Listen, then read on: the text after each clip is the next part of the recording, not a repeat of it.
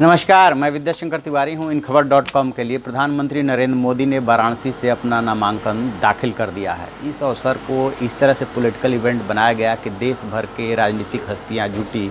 उसमें रामविलास पासवान, नीतीश कुमार तमिलनाडु के deputy CM भी वहाँ पर पहुँचे, उद्धव ठाकरे पहुँचे प्रकाश सिंह बादल पहुँचे, जिनका कि पैर छू करके प्रधानमंत्री ने आशीर्वाद लिया। कुल मिला जुला करके 25 और 26 अप्रैल को इस तरह से वाराणसी में कार्यक्रम रखा गया था कि मनोवैज्ञानिक बढ़त पहले ही प्रधानमंत्री मोदी ने अपने विरोधियों पर ले ली है। और साथ में उन्होंने ये भी बोल दिया कि वो दिलों को जीतना चाहते हैं, दलों को नहीं, और कार्यकर्ताओं को बहुत सारी नसीहत भी दी। और इस अवसर पर सबसे ज़्यादा जो नज़र लगी हुई थी लोगों की कि आखिरकार मैं भी चौकीदार, जो कंपेन शुरू हुआ है, और प्रधानमंत्री ने सफ़ाई कर्मियों कर्मियों के प्रयागराज में पैर धोए थे कि कौन कौन इस बार उनके प्रस्तावक होंगे। और इसको लेकर के तरह तरह के कयास लगाए जा रहे थे। बहुत सारे लोगों ने प्रधानमंत्री को और बीजेपी को चिट्ठी लिखी थी कि इस बार जो है वो उनके प्रस्तावक बनना चाहते हैं। उस्ताद बिस्मिल्ला खा के परिवार से भी चिट्ठी लिखा गया था। पिछली बार उन्होंने जो है प्रस्तावक बनने से इनकार कर दिया था।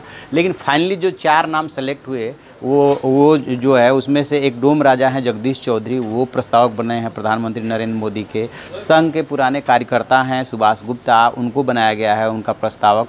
और पंडित मदन मोहन मालवीय की मानस पुत्री मुँह बोली बेटी हैं अन्नपूर्णा शुक्ला, वो मोदी की इस बार प्रस्तावक बनी है।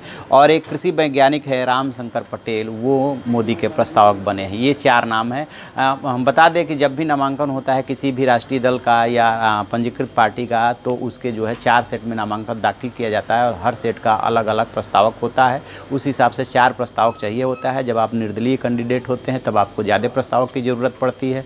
तो इस तरह से ये चार लोग उनके प्रस्तावक बने। पिछली बार भी मदन मोहन मालवीय के परिवार से जस्टिस को लिया गया था, जो रिटायर्ड जस्टिस थे, छन्नूलाल मिश्रा को लिया गया था। और चार नाम थे इस तरह से। और इस बार भी अलग अलग सेगमेंट से समाज के हर वर्ग को प्रतिनिधित्व देते हुए प्रस्तावक बनाया गया है।